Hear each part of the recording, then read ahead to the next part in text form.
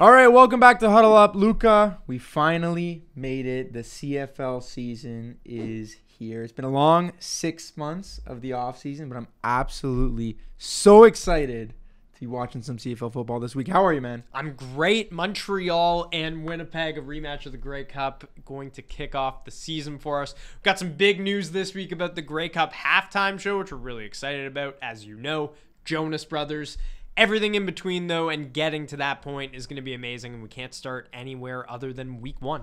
A week ago on Huddle Up, we ranked every single team in the CFL via a tier list, but today's preview show is going to be a little bit different. We got a bunch of different questions um, about the season, some things to expect, and we are going to answer them. We will start with one of the favorites every year. One of the best parts about the CFL is that anyone can win year in and year out. So we'll start off with the biggest sleeper of the 2024 season. Luca, who do you got? I've got the Saskatchewan Roughriders, and this really hinges on Trevor Harris's health. He's looked great in the preseason so far. You're hoping to see that health sustained throughout the regular season, something he hasn't really been able to do in the past with Saskatchewan. And obviously, not a fault of his own. Injuries happen, it's football. Um, but they need him to be the biggest piece of their offense because their offense can really be electric up there with BC and Winnipeg, I think. And it's because of the receiving core they have. They've got three guys that can go for a thousand Keon Schaefer Baker, Shawn Bane Jr., and Samuel Emilus, Canadian receiver. And I think it's giving Riders fans kind of flashbacks to the Canadian Air Force of Rob Bagg, Chris Getzlaff, and Andy Fantuz. And you got to mention Weston Dressler in that bunch as well. They led them to Grey Cup wins. They were exciting to watch on offense. And I think that these three receivers specifically have that talent to carry this team. There are questions on the defensive side of the ball, but they brought in the Argos defensive coordinator, Corey Mace, as their head coach. First year, year one, but he is going to make his mark on this team early on. And I'm excited to see what it looks like in their identity under him. So that's why I think they're a bit of a, a slept on team. And the CFL is always better when the Saskatchewan Roughriders are a good team. Such a passionate fan base. And honestly, it was kind of tough to watch how their season ended in the back half after Trevor Harris went down a year ago. I'm going to stick in the West Division for my sleeper, though, and I want to talk about the Edmonton Elks, everyone's favorite team to poke fun at a year ago. Um, really, really rough start to the season where at one point it looked like were they even going to win a game. Tre Ford steps in, and they go on this magical back half of the season run where, I remember, we made a video like, are they going to make the playoffs? The turnaround was great, and there was a lot of optimism in Edmonton. And now this year, things look even more different because they brought in McLeod Bethel Thompson, a move that I think shocked a lot of people, but has now grown on a lot of people. And I think having this two quarterback system, regardless of how they roll them out, it's going to be very, very effective. And they just have a very high powered offense. And I think that in terms of when you're looking at the grand scheme of the CFL, they are going to be a very, very fun and exciting team to watch. I think the, the Kurleigh Gittens trade in particular is one that is really, really gonna gonna work. And when you got Geno Lewis there as well, we all know what he can do when you get the ball in his hands. So Edmonton Elks for me, the ultimate sleeper going into the 2024 CFL season. I expect them to make the playoffs and even maybe ruffle some feathers once they get there. a little preview of what's to come. Okay, the next category we want to go over. Biggest question mark for this season. I think with this one, you have to start with the Toronto Argonauts. Obviously, the uncertainty at the quarterback position. How is Cameron Dukes going to do filling in? Or is it going to be Nick Arbuckle? We don't really quite know what they're going to look like on the offensive side of the ball. And then defensively, you mentioned when you were talking about Saskatchewan, losing Corey Mace. I think that is going to be a big, big loss. And it's also just uh, the turnover that they've seen on this roster. That lack of continuity coming from their greatest season ever as a franchise going into this year, where it's just been a very, very busy and noisy offseason. There's some new faces in the building the Argos to me are just one big question mark. How are they going to respond? Can they hit the heights that they hit a year ago? I'm not quite sure.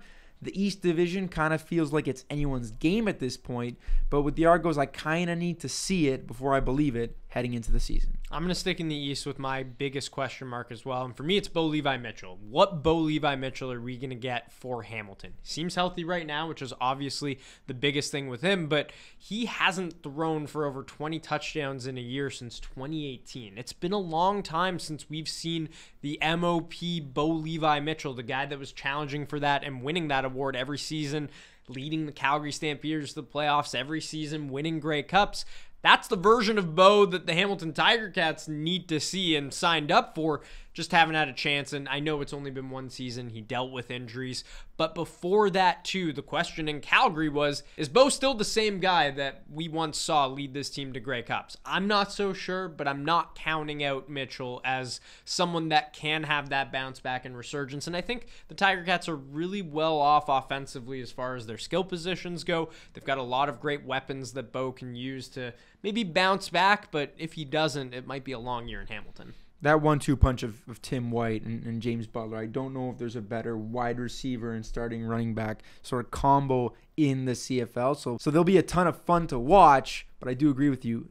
The quarterback, it is a big question mark at this point. But let's continue previewing with our breakout star for the 2024 CFL season. Where are you going with this one? This is always such a fun thing to predict going into the year. Who's going to be that one young player that emerges as one of the faces of the league? And I want to talk about one of the Philpott brothers, and it's not the one who had all the headlines a year ago. Obviously, Tyson catching the the game-winning touchdown in the Grey Cup for the Alouettes, but it's his brother, Jalen Philpott of the Calgary Stampeders has had some really, really unfortunate luck with injuries so far in his young career. But this was a guy who was taken actually before his brother in the 2022 draft. So he's got a lot to prove. And he's sitting in a situation where after Malik Henry went down mm-hmm. in Calgary, the Stampeders are just kind of begging for someone to come into a role and become a big, big reason why this team can be competitive in 2024. And I think Jalen Philpott can be that guy. He's a versatile player. He can do a lot for you on offense. And I'm just excited to see him with some more responsibility.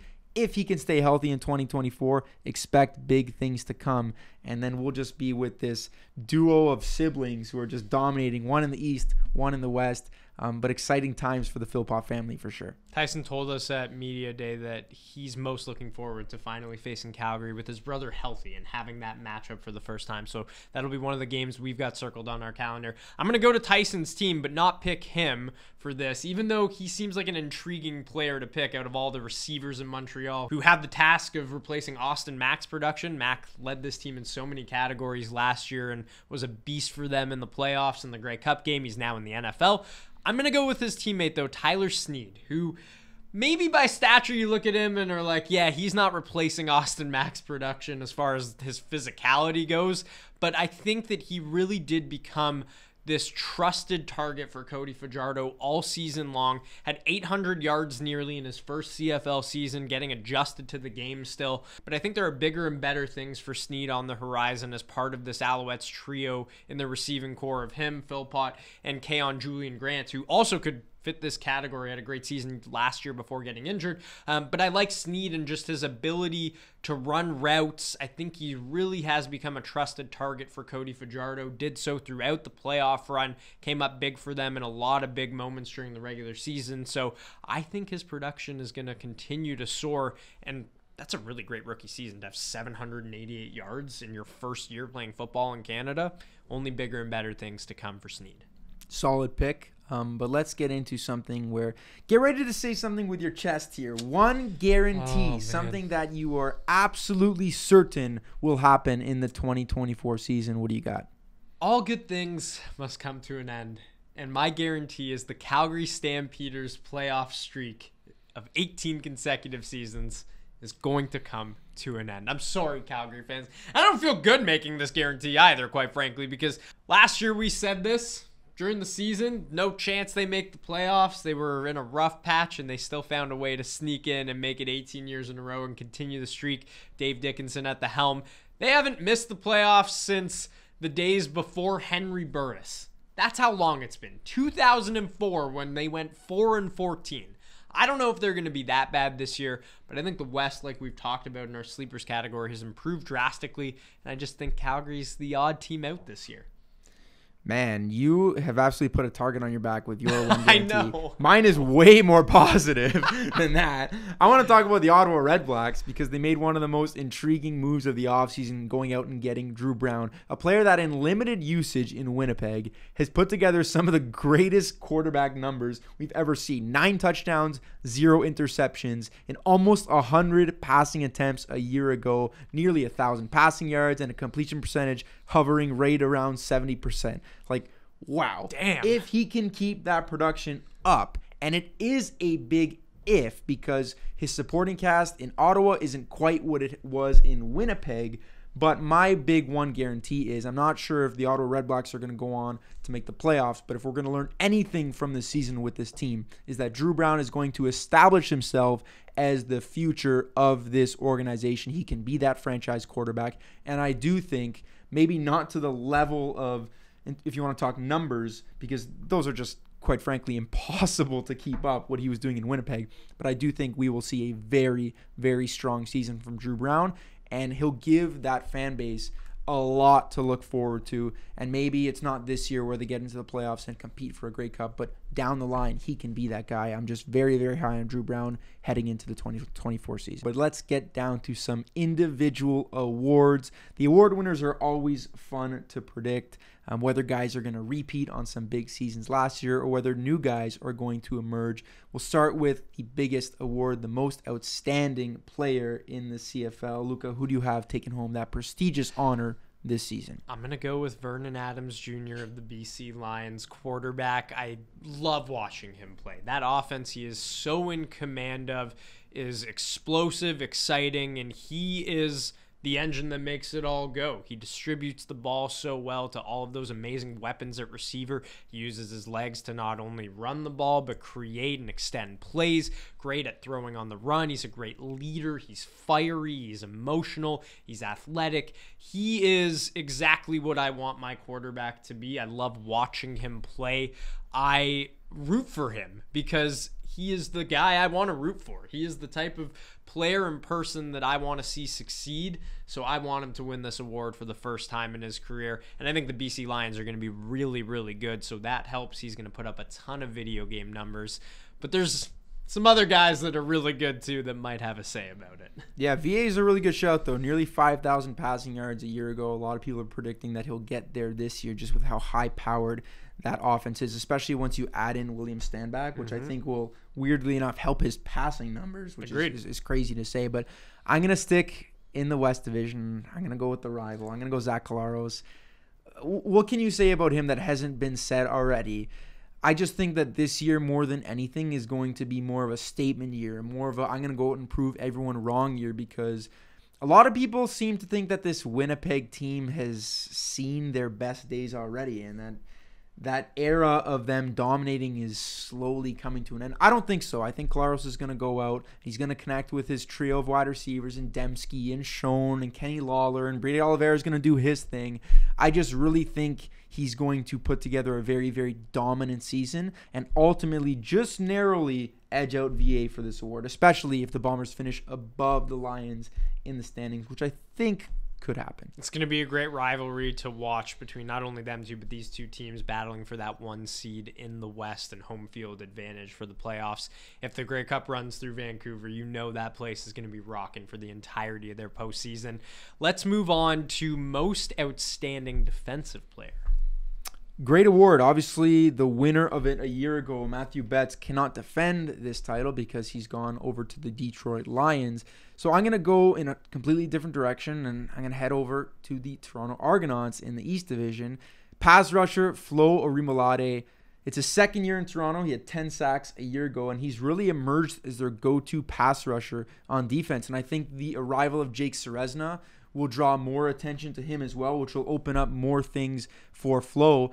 And another part of the reason of why I predict him to win this award is he just has the best sack oh celebration oh in the entire CFL. The signing of the artwork, I think we'll see plenty of that this year. So I'm going to go with Flo Orimolade as my most outstanding defensive player. It's a great pick. I'm going to go a little bolder because the defensive back hasn't won this award since 2011. Jovon Johnson of the Winnipeg Blue Bombers. I'm going to go with the Canadian as well, Marc Antoine Dequoy. We all, I think, have that highlight of him picking off Chad Kelly and returning it in the East final ingrained in our brains. But he had such an outstanding season for Montreal last year five interceptions, few forced fumbles, a couple of touchdowns. He makes an impact in so many ways as a safety, and I think those numbers are only going to increase. Maybe the touchdowns kind of come down a little bit because that is more luck based than anything as far as that being able to be carried over season to season. But I don't think the interceptions are going to stop. He plays that middle of the field so well, impacts the game in so many ways. And a lot of his interceptions, too, are near the line of scrimmage, as that one was against Toronto. He's a game changer. I love it. And I think he's going to win Defensive Player of the Year. I would just love to hear his speech when Oh he wins that award, too, because of how fiery he was when the Alouettes had won the Grey Cup. Um, but let's stick with Canadians and let's predict our most outstanding Canadian. Brady Oliveira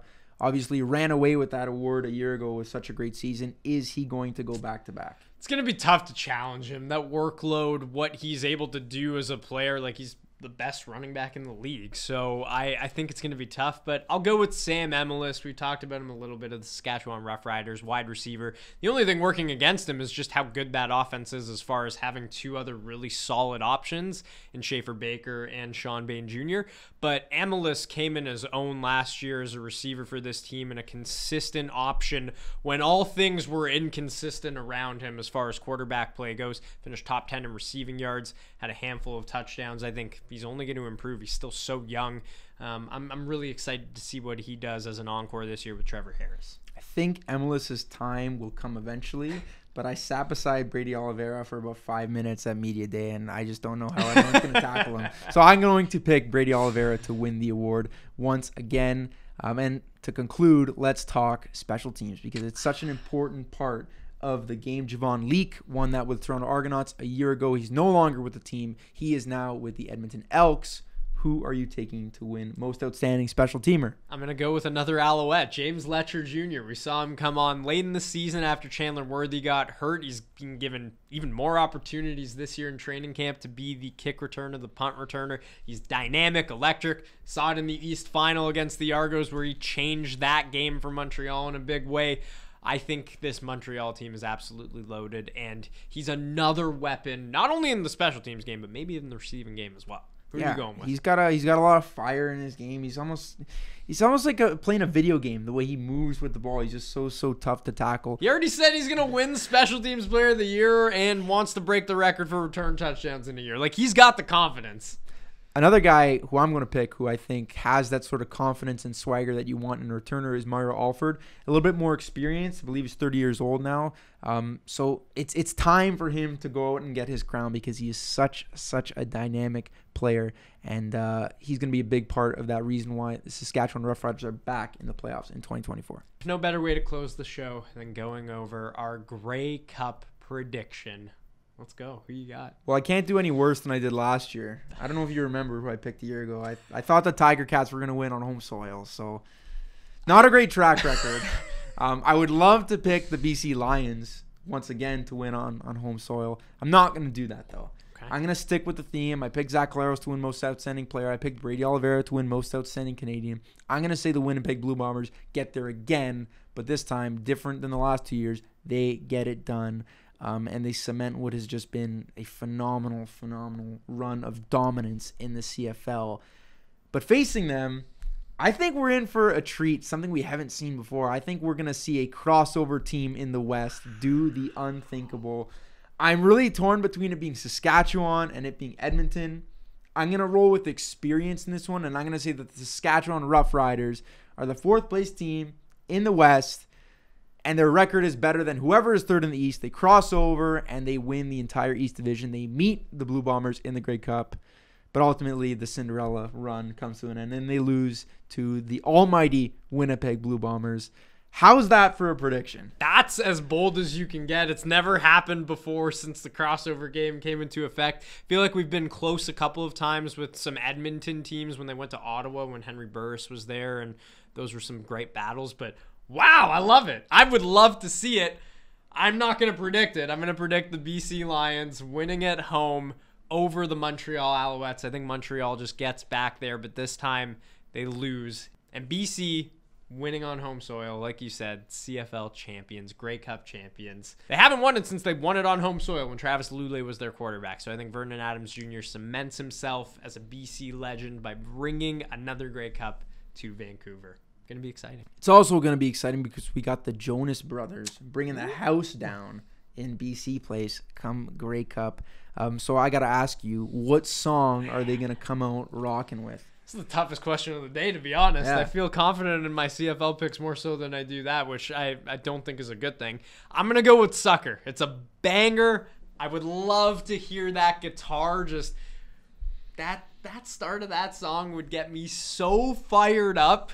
Give me that. Give me Sucker. I think when you're approaching breaking down and trying to analyze these halftime shows, bands like the Jonas Brothers, I think you got to key in on nostalgia. And I think if you come out with Mm. Burning Up, just the first couple notes of that song, get the crowd going. Um, I think it's gonna eclipse whatever 50 Cent brings to BC. I think I think this is gonna be even better at the Grey Cup, the biggest stage possible. And if the Lions are playing there, even better. Um, I'm excited for the Jonas Brothers. I'm excited for the CFL season, and I'm excited to see how these predictions age down the stretch because hopefully they're better than last year. But uh, thanks once again for joining us here on Huddle Up. We hope it's going to be a great season, and we'll see you again soon.